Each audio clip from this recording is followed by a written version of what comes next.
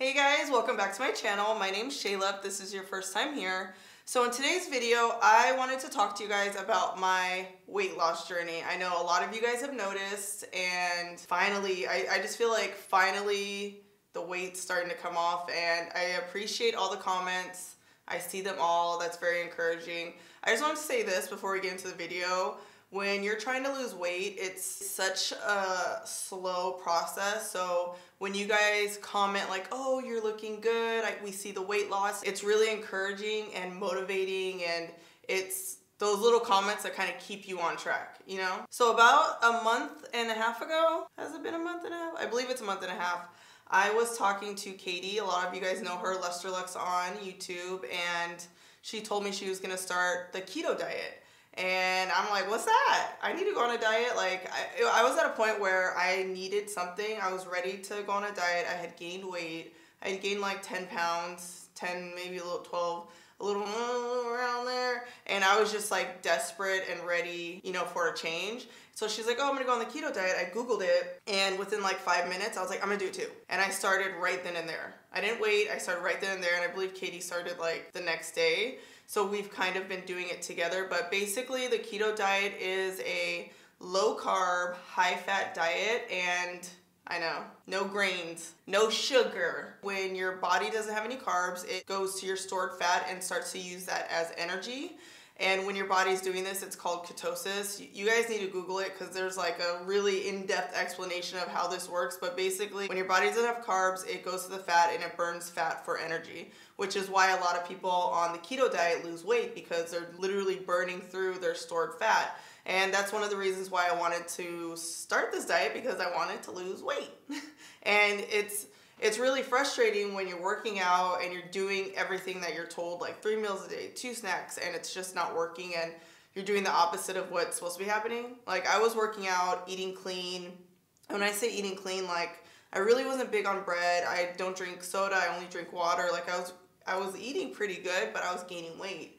And I think most of it was from eating out and just my body saying no, like you need to stop. I don't like what you're feeding me. And this diet has really just it's been such a big lifestyle change for me. It's opened my eyes up to just what my body actually needs and what works well for my body. And if you're searching for a weight loss and I don't even want to call it a diet because it's more of like a just a lifestyle change. Ooh, always dropping stuff. If you're looking for a diet or a lifestyle change or something, I would definitely recommend researching the keto diet. I don't want to say it's complicated because it's not, but you have to do your research before you start it because they're pretty strict on foods that you can and cannot eat because some foods will take your body out of ketosis and you won't be burning fat. So you really have to do your research before you start this diet. Okay, so in this video, I really wanted to talk to you guys about just my whole weight loss journey from start to finish and kind of the different phases that I've gone through up until this point and just where I'm at now. All right, so I told you Katie introduced me to the diet. We started basically the same time. The first week of the diet, I lost seven pounds. Like, whoa. It was it was really water weight. like when you when you look up the keto diet, it tells you you're gonna lose a lot of weight, but it's mainly water weight. Which it, I mean, it's still weight. Like it felt good looking at the scale. You know what I mean? So the first week I lost seven pounds. The next, would I say three weeks? I didn't lose anything, maybe like a pound but I, I was losing inches. Well, maybe not inches, maybe like some millimeters, some centimeters. I was losing, but it wasn't reflecting on the scale. So I started to eat less. When I tell you eat less, I think sometimes people go straight to, oh my God, you're starving yourself, you're not eating enough. But in fact, I've always just ate too much. You know, we are trained to eat a lot of food, like breakfast, lunch, dinner, snacks in between. We are kind of taught to always eat, and that's not what our body needs. And so the first, I guess, mm, three weeks of the diet, I was doing three meals and I was trying my best not to snack at all. So I would do three meals and then once three meals felt like a lot, I went to two meals. So this would be breakfast and dinner or breakfast and lunch. Those were my two meals. And then once I started to do more research on the keto diet and I kind of felt like my weight wasn't changing, my body wasn't changing fast enough, I started doing more research and found intermittent fasting. That's always so hard for me to say. Intermittent fasting. So I started fasting and I think it's been maybe like three weeks now. Yes, I've been fasting for three weeks except when I went to Vegas. I didn't fast in Vegas, so I had like two days off, but I've been pretty much fasting every day for three weeks. So fasting is not eating. You can still drink, you can have stevia. You well people some people will say you can't, but you, but I've been doing it, it's fine you could drink tea. You really just can't eat. Your body just can't digest anything. So fasting is a state where you don't eat basically.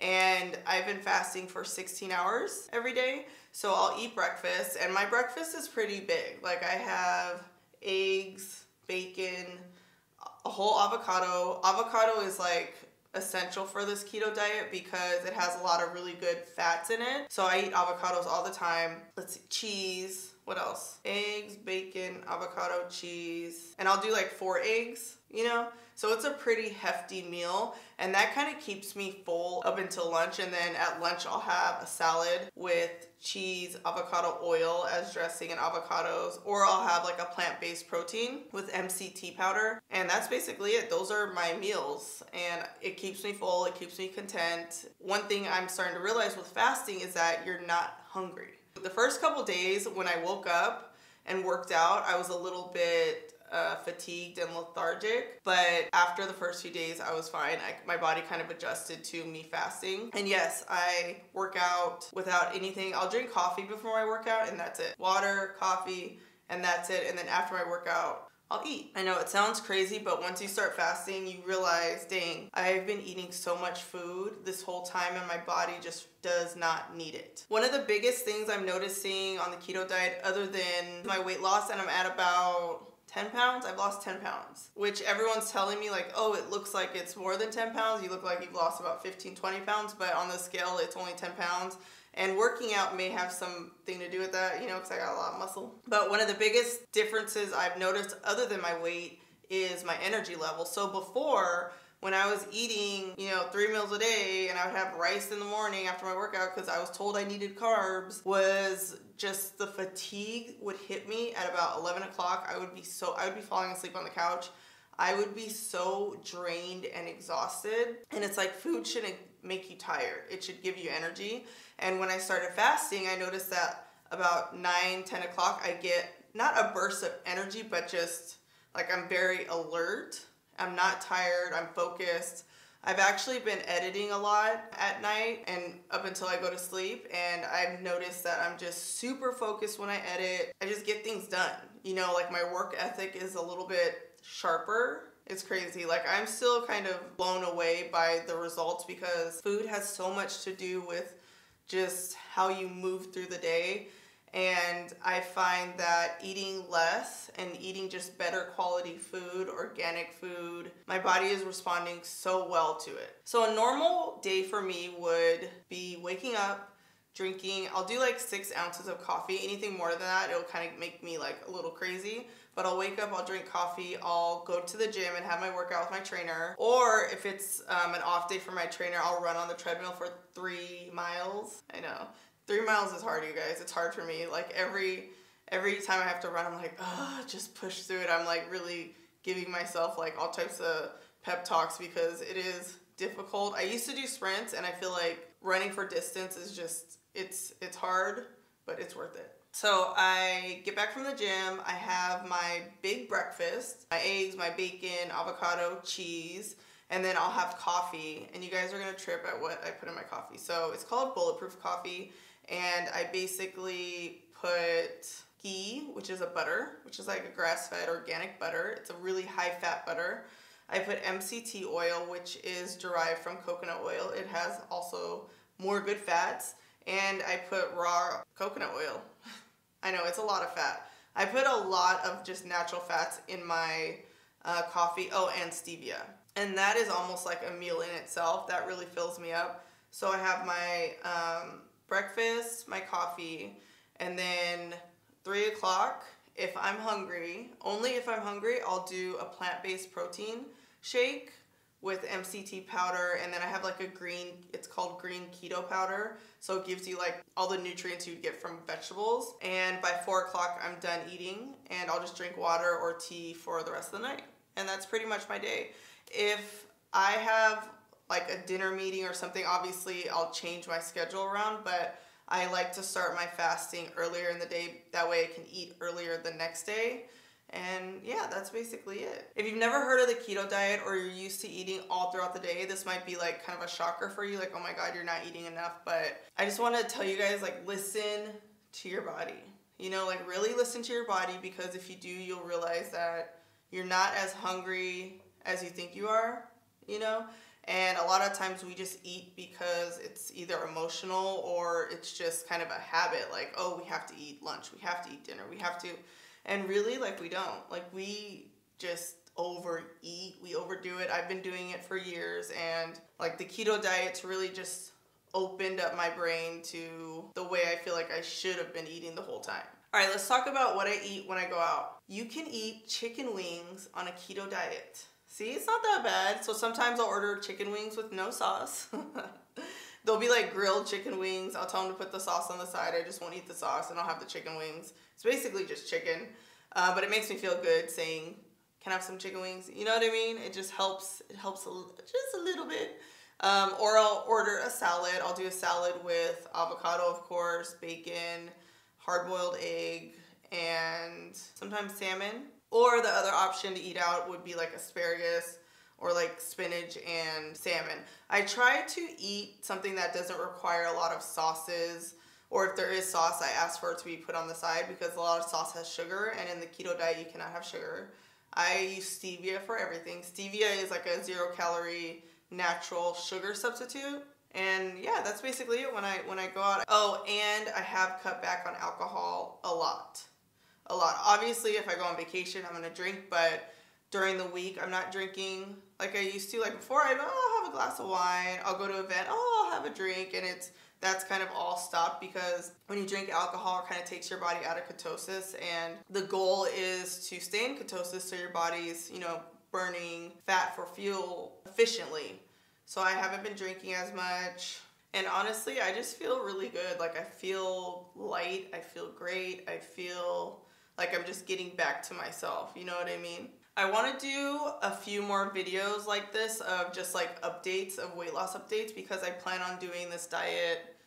I don't even I don't want to call it a diet, but I plan on doing keto just forever as long as I can. So maybe in like a couple more months I'll give you guys an update and let you know if I've lost any more weight and then maybe a few months after that I'll do another update because I just feel like 10 pounds in a month and a half is a lot and if it works for me, it could definitely work for you. I wanted to talk to you guys about a couple tips when starting keto because I know so many of you guys after this video, you're gonna go Google it, you're gonna figure it out, but try and start it with a friend or a boyfriend, a husband, wife, whatever the situation is start it with somebody else. That way you guys can kind of talk about the symptoms you have, the struggles you have, and you just have a partner that will encourage you, especially if you get down like, oh, like I'm frustrated, if I'm not losing, whatever, you have someone you can talk to. That's tip number one. Tip number two, do your research. Like I'm always looking up keto recipes. Is this food keto approved? Um, there's so many YouTube videos out there. Just educating yourself. Constantly educate yourself on the diet so you know what you're getting into. You know what foods you can and can't eat because if you're on the keto diet or if you think you're on the keto diet but you're eating bread, you know, you're not going to lose weight and it might frustrate you. So make sure that you have a clear idea, maybe even write it down. Do not eat and then list everything yes, I can eat and list everything. That way you know. Just really be informed. And my last tip is to try fasting. I recommend it. It's just it's just the best thing I could have done. But I wouldn't start fasting until you're about week three because I think you need a couple weeks, a few weeks for your body to kind of get used to the diet first. Because if you do too much at once, you're gonna be fatigued, you might feel a little crazy, your body is gonna go into shock and it's not a good feeling. so do the keto diet for a few weeks, and once you feel like you've kind of figured out the foods you can eat, then try fasting. And you could even fast for 12 hours. Um, I fast for 16 hours, sometimes 18. If I guess I ate a big meal, I might even go longer, 22 hours. I've only done that one time. I don't think I could do that consistently every day, but every once in a while I can. 16 is like the magic number for me. It makes me feel good. Um, but try fasting. It really it helps you understand your body because you can kind of just hear what your body's telling you. You know, like if you don't eat for 10 hours and you're not hungry, then it's kind of like a wake up call. Like, oh, dang, maybe I'm really just not hungry, you know? And I think you just kind of become more aware of the type of food your body needs, when it needs it, and also how much food you actually need to consume. Oh wait, one more thing. If you guys are gonna try this diet, if you are gonna start a diet, take a picture because I didn't take a picture until like the third week or maybe the second. I think it was like the second or third week I took my first picture just because I wasn't sure the diet was gonna work and it did and now I'm like, ugh, I should have taken a picture. I would have someone take a picture of you and just do that ugly, like, you know, the ugly straight back stand so you can really see what your body looks like and do all angles and then weigh yourself, measure yourself, measure your inches. Like I've gone down about an inch. Like you will go down. It may not look like it, but you will go down. Measure yourself and then I would put the scale away and don't take a picture of yourself for a month.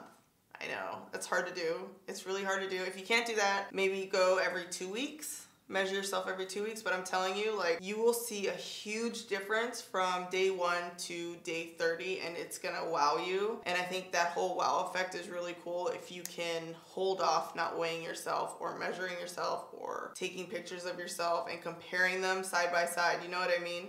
So that's like the, the final tip. Make sure to measure yourself at the beginning and then wait a few weeks so you can see the the results and the difference. I know this video was kind of like an introduction to my diet, but I'm still at the beginning. I really just wanted you guys to see my before and after and kind of have an idea of what I've been eating and the diet that I'm on. And really, I'm just hoping it encourages you guys to maybe eat healthier and try it out. But I, I want to answer your questions. I want to continue to update you with my success. And I'll definitely keep you guys posted and I'll update you on my weight loss.